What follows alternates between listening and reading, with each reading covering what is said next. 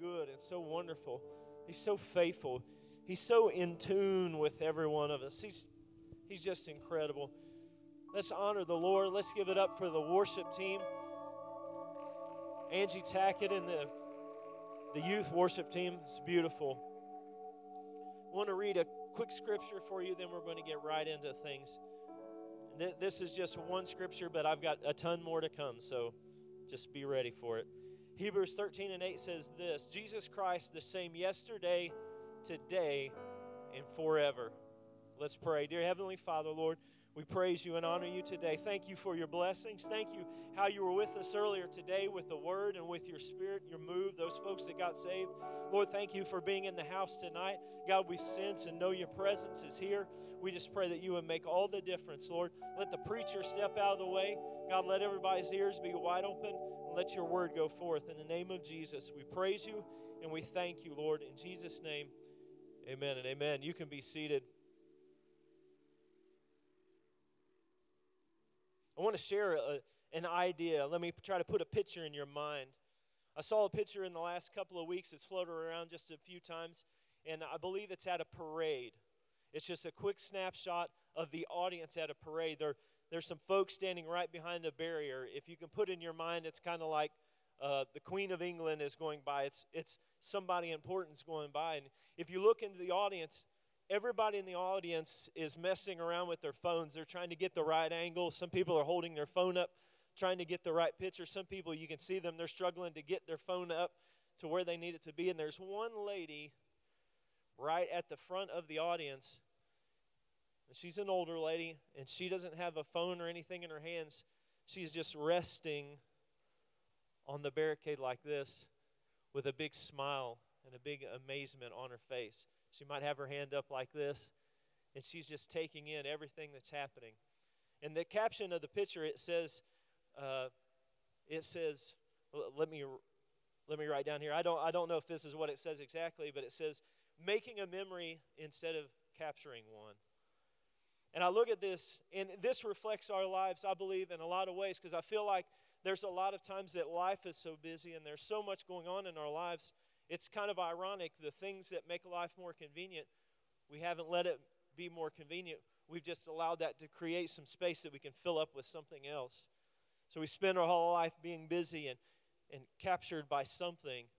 There's not a whole lot of time. It seems like less and less is the time where we can just chill out, so to speak, and just, you know, watch the world go by. And we live in a, in a, in a, in a world where it's like that.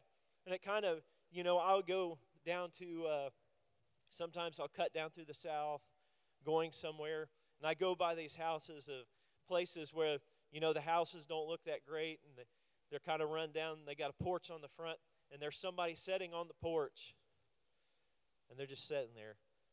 And there's sometimes I'm like, man, it would be cool to live that life. You know, that's so that's so simple. Can you imagine what it would be to live that simple? You know, when you're busy, you kind of think those things. There's a lot of distractions in our world, and this picture, you know, creates this beautiful, beautiful picture of how life is. But I want to share with you tonight. I'm going to take a drink of this water. Most of the time, nobody does, but I'm not passing it up.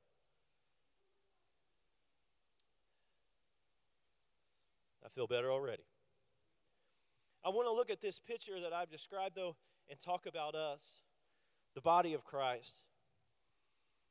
I think the enemy is always busy trying to come up with a distraction to keep us off of our game, to put us in a place where we're not focusing on what's most important and, and keeping ourselves connected to what's right. The enemy's always bringing a distraction along to keep us off track, and they're different. They come in all different shapes and sizes. I wrote something down here, and hopefully I can go back to where it is. Distraction being a way to captivate our attention without us real, realizing it. Taking our attention from what matters most to something secondary, a distraction in the body of Christ. I believe the, the enemy tries to distract us in a million ways, and we could talk about a million of them. But I want to talk about something, one of the most precious gifts that we have that we probably, a lot of times, we don't ever think of. But if you look at it for what it is, you see the gift that it is. I think sometimes we try to look at the big picture, or we try to look at the big and glorious things, and sometimes we miss some of the most important gifts that we have. We have life. We've been given life. If you stop and think about it, you've been given life. So if you've been given life, that means you have purpose. And if you get given purpose, that means that you matter to other people. That means that you matter to God. That means that your purpose is supposed to play out in your life every day, and there's work that's supposed to be done. That means that God is a thinker, that He's a planner, that He works out things. You can take the simplest of ideas that maybe we'll gloss over and really get in contact with who God is. You woke up this morning because there was a plan, there was a purpose, there was a reason. We're given so many gifts, and sometimes I think we're so distracted by looking for the big, glorious things that we miss the most obvious ones right in front of us. I think one of the things the enemy tries his best to do is to steal today. Today. This day that we have. He does his best to try to steal this day. He tries to fill our minds with busyness, thoughts about, well, we have tomorrow. Well, didn't we have a good time last week? He fills us with all these things that keep us distracted from the importance and the gift of what today is that we have right now. And I want to talk about that. I feel like the body of Christ is being attacked and being distracted by what was and what may be. And, and I'm just going to talk about just a few little things, and we could say a million things about distractions, but I'm just going to hit a couple of things. The past, a lot of times, starts with these words Well, I remember when. I remember when. I want to talk about remembering when. First thing I want to just talk about is guilt. Those who live in guilt by, by, by your choice or by maybe even by somebody else, you live in guilt and it robs you of life. It makes it, to make yourself pay hurts you today and it hurts you tomorrow. It's a distraction. The funny thing is that while we live as sinners, Jesus Christ died for us. Now let me stop let me stop and, and kind of build on my thoughts here. Guilt is this thing that we carry around with us over, over a choice that's been made in our past.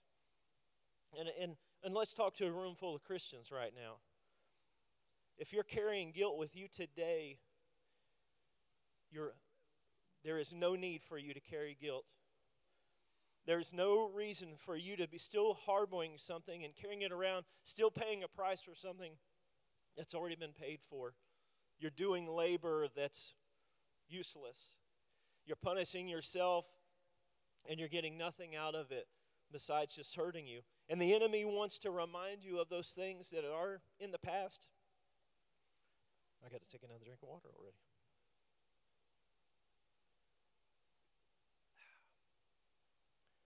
He wants to remind you of those things in the past because he knows if he can get you distracted by what was in the past, it will rob today. It will rob you tomorrow. It will take away what you could be and where you should be going. It can have you all distracted and all busy thinking about something.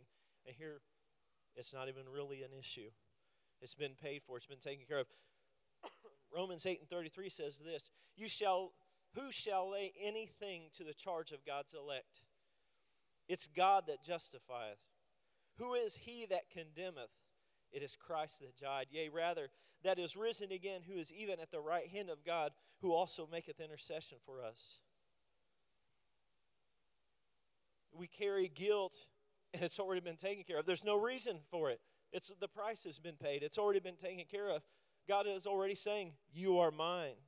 If you've called on Him, He's already saying, "You are mine," and you don't have to carry that it's not being held. The only person that can really hold it against you is God, and He's saying, You don't have to. I'm not holding it against you. we can't call ourselves guilty when we've been justified upon our confession with Christ.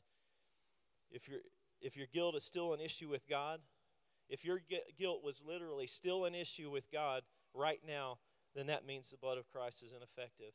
But Romans 8 and 15 says this For ye have not received the spirit of bondage again to fear but you have received the power of adoption, whereby we cry, Abba, Father. The Spirit itself breatheth witness with our spirit that we are the children of God. And if children, then heirs, heirs of God, and joint heirs with Christ, if so be that we suffer with him, that we may be also glorified together with him. Go back, Christian. I would, if you're going to go back to the past, go back to the cross where you confess Christ, where you lay down all your sins. There was never anything good about you necessarily to start out with, so lay it all at the foot of the cross once again. Guilt is a thing that can hold us back, a thing of the past that we need to lay down at the cross. Second thing I would like to talk about from the past is this. and this is a, a, broad definition, but I want to talk about the good old days. The good old days were exactly as they're described. The good old days, whatever, whatever it was, whether it was when grandma used to, you know, uh, praise the Lord and hold hands and preach the gospel around your kitchen table. Those are the good old days. When it was Harlem Park, when it was uh, the other time, the other places here in town, Clayton Street. Those were the good old days of our church. Those are the good old days of our walk with Christ, and it's beautiful. It's your heritage. It's my heritage. But there's a problem with going back there, so to speak. And it's not really the people, it's not really the places, the time. What it is, is there's an issue there because sometimes life changes. The churches change, the personnel changes. People go on to glory. And the enemy can tiptoe in and say, well, it's not like it used to be. And, and in some respects, hey, it ain't like it used to be. Life changes. But I believe the enemy wants us to be stuck somewhere looking backwards and get so discouraged and feel so left out and feel so, you know, well, you know, it just ain't like it is used to be that we'll get discouraged, that we'll kind of fold our hands and we'll kind of settle in, just be like, well, you know, it ain't like it used to be. But that's a lie from the enemy. He's turned beautiful, wonderful things that we've grown up in and our, our heritage and who we are, and he's turned those things to almost use against us. But I say this that God has not changed the uh, Hebrews 13 and 8, the scripture we read earlier, it says, Jesus Christ, the same yesterday, today, and forever. Because time has went by, doesn't matter. Because the people changed, it doesn't matter. Jesus is still the same as he was then. And if he was great, I'm telling you, he was great 25 years ago in a week when I got saved. When I come face to face with God, it was awesome and I got saved. Hallelujah. But I'm telling you, it's 25 years later in a week, and I'm telling you, he's still great. He's still as awesome right now as he has ever been. There is still promise. Amen. He's still awesome right now. So we don't need to throw in the towel and think, well, it was good back then and the days are over. I'm telling you, we haven't seen nothing yet. God is still God. God is still in charge. He's still incredible right now, and He can do amazing things and change every one of our lives. I can go back in my mind and I can throw you out some mile markers. Man, I had a great experience here. I had a great experience at this time. But I'm telling you, there is not one reason in this word that doesn't say I can't have the greatest experience with God that I've ever had right here and right now. I can have a mile marker moment in this second, and so can you. God can show up today in your life and do something incredible that will shape you forever. And I think that we should look like that. I think we should talk like that, expect like that, and look like that. Uh, everywhere we go, we should have some good days.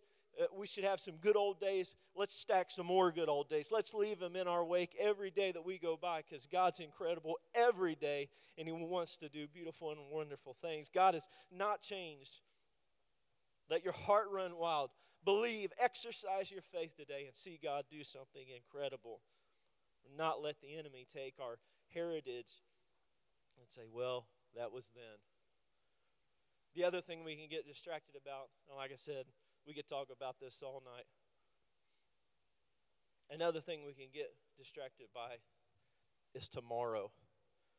We can forget about today because we're so busy thinking about tomorrow. And this is what I mean. Just a couple of things. Fear. It's a thing that captures our minds, that, that keeps us prisoner, that holds us back from going forward. Now, think about it. It's potentially something that will never happen, but yet we can make real life decisions based on something that, who knows, it'll never happen. But we trust the possibility of it enough that it holds us back and we don't go for it. Our tomorrow is messing up our today. We say, What if? or I can. It's not me. I'm sure you have those moments where you try to step out and fear comes along and says, You don't know what's going to happen. Well, I'm here to tell you that, like the song, fear is a liar. Fear is a liar. Psalm 119 says this. Brother Marty talked about it today and shared it. In there it says, There's a lamp for my feet and a light for my path. There are some sure things that I can step on that I do not need to fear. That I can say, you know what? Tomorrow might be crazy, but you know what? I know there's a God that's going to lead me through that. He's going to show me the word. He's going to speak to my heart. He's going to show me the path that I'm going to take so I can be who I need to be today. I can be on top of things for today and be who I'm supposed to be. Second Corinthians says 2 and 14 says this. Says he always causes us to, causes us to triumph. Even if we have bad times to come, it doesn't matter because we're going to go forward and God is going to lead us into victory. Tomorrow, think about this, and this is just a goofy thing that I'm saying. Tomorrow is always, you know, tomorrow never comes. When we get to tomorrow, it's actually going to be today. Tomorrow is going to be the next day. It's kind of like this weird thought. Today is a day of what ifs. We walk in, sometimes we run in fear. a day of what ifs. There are some things that we think about the future and we get ideas and thoughts in our heads about our future. And some of them are just really good ideas, but there can be really good ideas and there can be God ideas. One is orchestrated and, and authorized here in our heads, maybe in our hearts. And we think it out, we plan it out, we start to lay maybe some groundwork. We think this is what's going to happen, this would be best for me. But those things could be the very things that will steal our today. They steal our energy, they steal our heart, and our, they captivate our imagination and keep us busy and keep us from following God's idea, His plan. We can, we can even work really hard. Maybe we can get some success.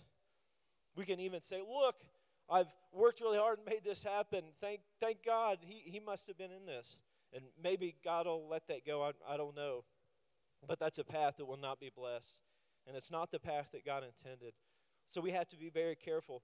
James 4 and 13 says this Go to now, ye that say, Today or tomorrow we will go in such a city and continue there a year, and buy and sell and get gain. Whereas ye know not what shall be on the morrow. For what is your life? It is but a vapor that appeareth for a little time, and then vanisheth away. For that ye ought to say, If the Lord will, we shall live and do this or do that. It's the Lord's will. We want to hone in on what the Lord's will is and let that be the thing that separates us and sets us on freedom. That going in God's direction, knowing His will and following Him out, knows that it, it's it's a uh, a thought. I want to say it like this. Andy Stanley wrote this book, and and he said uh, it's called the Principle of the Path, and he says you can intend, you can say I am going to go this way and you can say that all day. But he said, if you're if you step this way, it doesn't matter how much you intend to go this way, you are not going to get to where you're supposed to go. That's why we need to hone in on what God's plan is. Because if God says you're going this way and you'll listen to Him and you follow Him, you're going to get right to where He's taking you. Be reminded that He has a plan that is blessed and it, He is going to take you through. So I've been thinking about this, and I, have been uh, planning on it, thinking about it, praying about it for, for days. And, and I thought about this plan that the enemy has for distraction. He wants us to miss out on the time that we're supposed to have, the purposes we're supposed to have in God. He wants us to get all off track.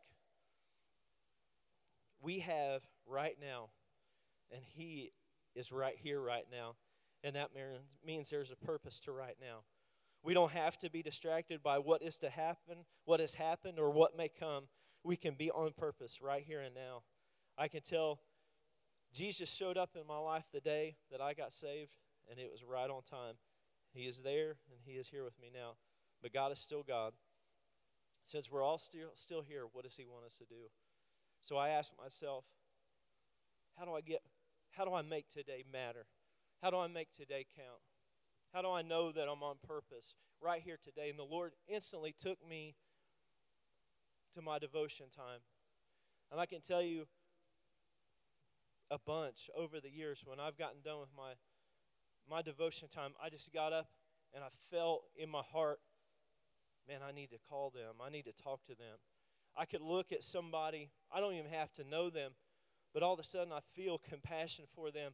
And I feel like for a moment that I see them like God sees them. And I feel like He, he feels about them. I get this, all of a sudden, I get this sense and this purpose of, man, okay, I'm here on purpose and, and I know what I'm supposed to do. And he showed me that those things happen when we put God first. Every day when we spend time with Him, a, lot of people do it in the morning, and that makes perfect sense. They put God in the right, put themselves in the right place under the hand of God, in, in subjection to God, and say, God, I love you, and here I am, and spend this beautiful time in fellowship with Him.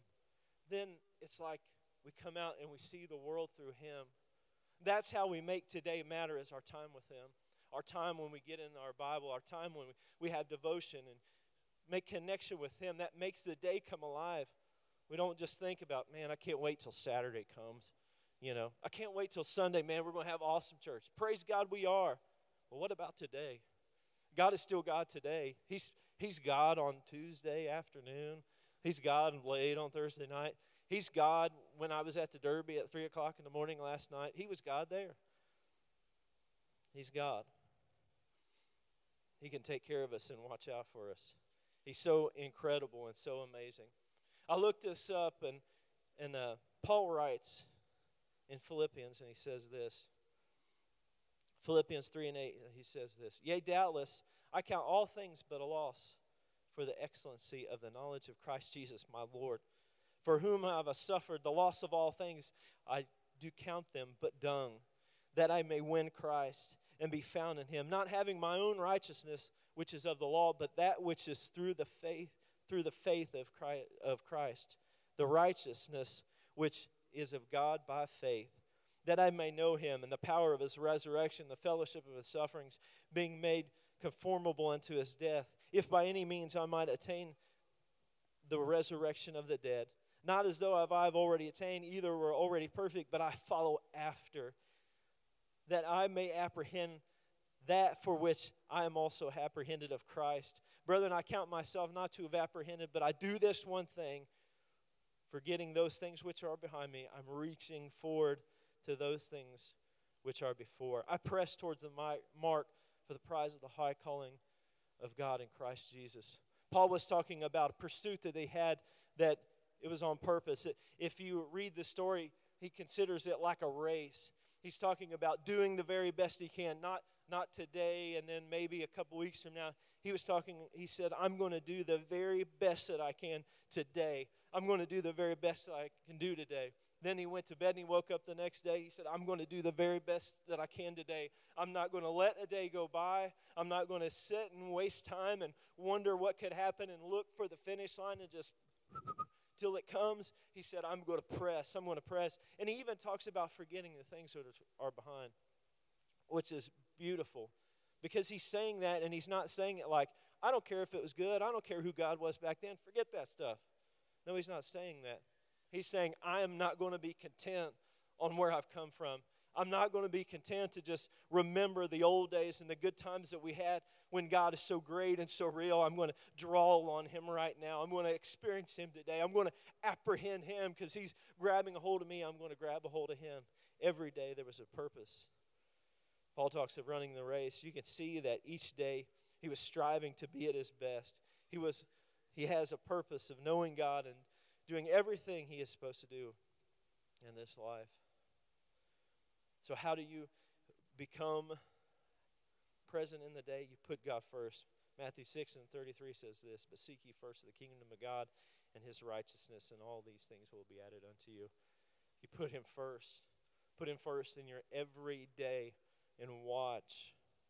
Watch the day take a different turn. Watch your investment in him show up in a blessing in your life, show up in a touch in your life show up and, and you begin to know what to do and where you're supposed to be and how you're supposed to be there on purpose every day. What happens? What happens?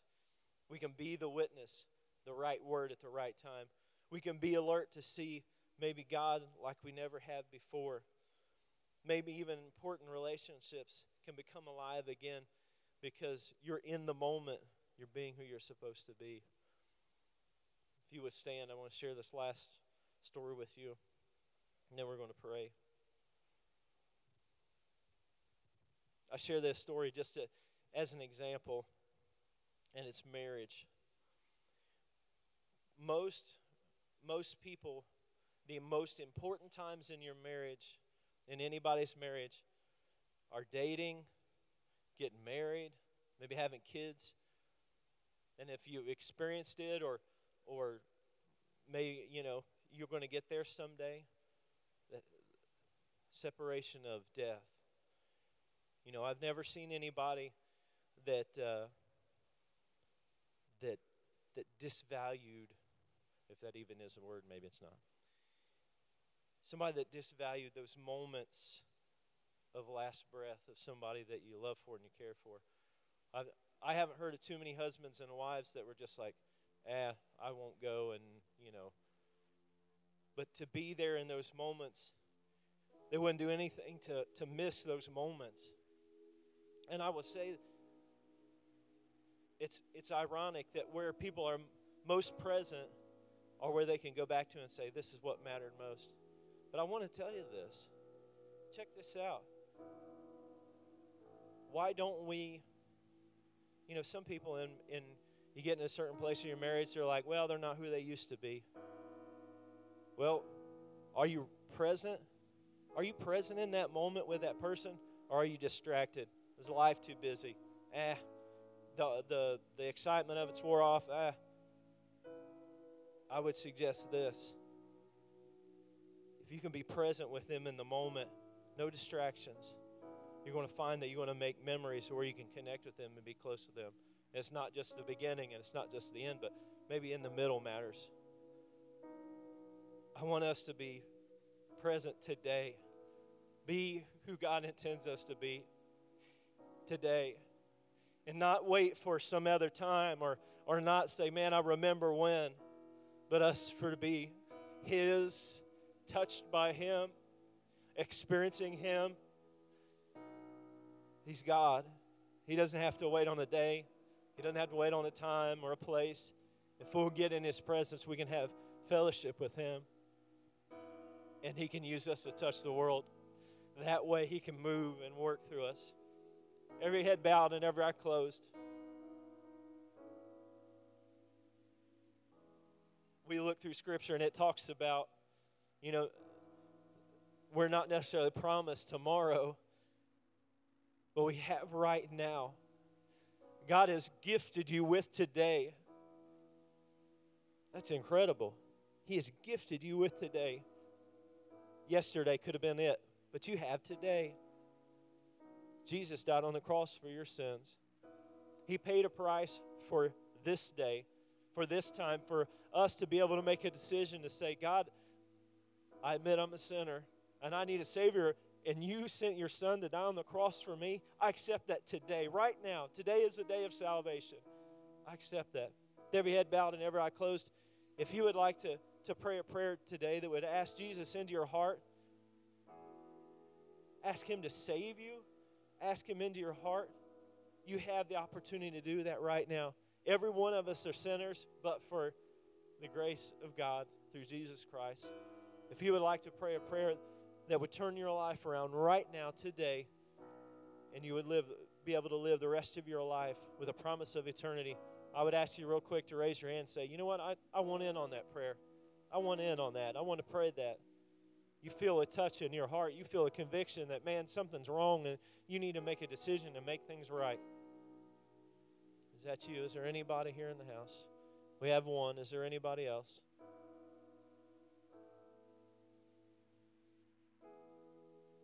Anybody else? You've, you've got this time.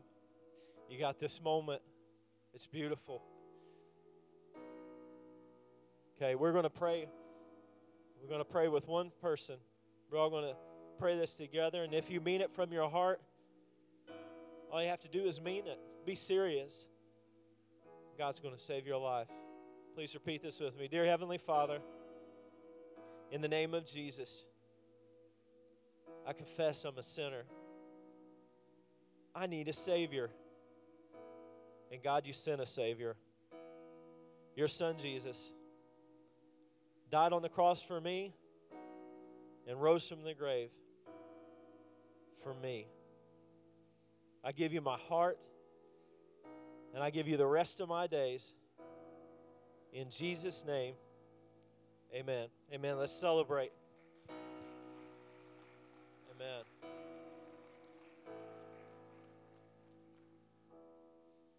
And what I want to do is there's a couple different things working here. Number one is we talked about a lot of distractions. We talked about stuff that maybe maybe hit on some nerves with people. I don't know, maybe not. I want to give you an opportunity to find a place in the altar to pray, but also I want to talk to another group of people. If you have a need in your life, I want you to come down. You can pray here, find a place in the altar, or the pastors and ministers can pray with you. If He's the God of today, I believe that He can touch you today. The need that you brought into the house tonight, I believe that He can touch and move on that. And I wouldn't be so goofy as to not give you that opportunity. I believe that He wants to do something. We have this time, we have this moment, we have today. So I believe that He wants to do something great. I'm going to pray, and as I pray, if you want to come down, we want to meet you in the altar. We're going to turn the music up for a moment. We want to give you the opportunity to pray. Dear Heavenly Father, Lord, we thank you and praise you. God, we appreciate the gift of today. Lord, it's what you've given us. God, it's an opportunity for us to have fellowship with you. It's an opportunity for us to be on purpose. So, Lord, we push away all the distractions, maybe things of the past, maybe guilt that's been on top of us that the enemy keeps reminding us of. God, you've already taken care of that. You've already wiped that slate clean. So, Lord, we release that to you. And God, we trust you with that thing. We trust what you say about us, not even necessarily what we say about ourselves, but we trust you with that. God, we appreciate our heritage and where we've come from. But Lord, we're not going to settle for just yesterday being yesterday, but we're going to give you all that we are. We want to see you again, the beautiful God that you are today. Lord, we pray over our futures. Lord, we're not going to walk in fear, but we're going to walk in trust and faith. God, because your word says that you're going to lead us through all things. And Lord, we know that you have a plan for us. So I pray that you move on hearts and lives and move on folks tonight.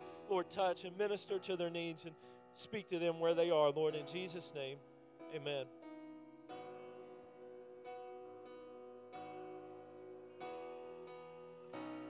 Welcome to the altar. The Father's arms are open wide. Forgiveness was bought with the precious blood of Jesus. Oh, come to the altar. The Father's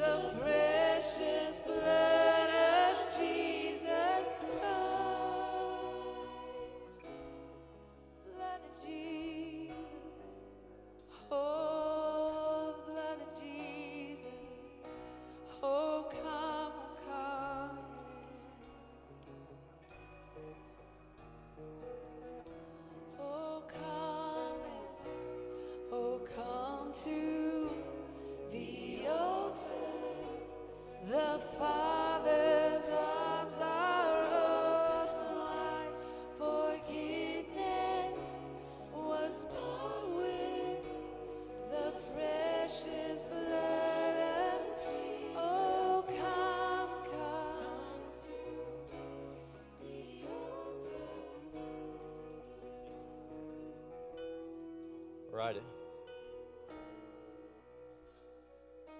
Well, it's been good to be in God's house. Amen. Amen. Amen. To me, if you step back, if you've been feeling and seeing what's been happening at our church, you know that God's up to something. There's a purpose for all this. And I feel like if we're going to be, you know, we're talking about a, a, campaign to financially be involved. You know, we've got something in this, so to speak. You know, we're investing. I believe that just like that, I believe that God's wanting every one of us to step up, and He's wanting to, to turn us over and start using us. Be agents of God. Be be workers for Him in every situation that we're around. We're in an exciting time. We're in the end times, and it's a time for us to look and see because the, the, the field is ripe. So it's time for us to look. It's an exciting time for us to be together. It's an exciting time for us to be at our church. Amen. Amen. Amen. Dear Heavenly Father, Lord, one more time, we just thank you and praise you for being with us tonight. God, to your glory.